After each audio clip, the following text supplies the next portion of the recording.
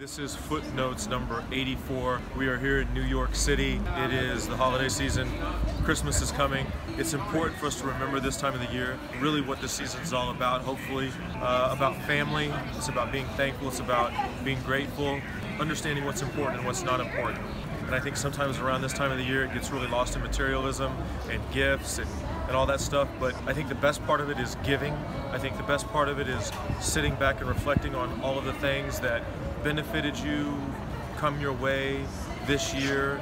It really all comes down to love and uh, appreciating those in your circle uh, that are there for you, that uh, are your family, whoever that that may be, and your friends. Don't let that get caught up in all of the gifts and, and, and the marketing and the, the, all of that stuff.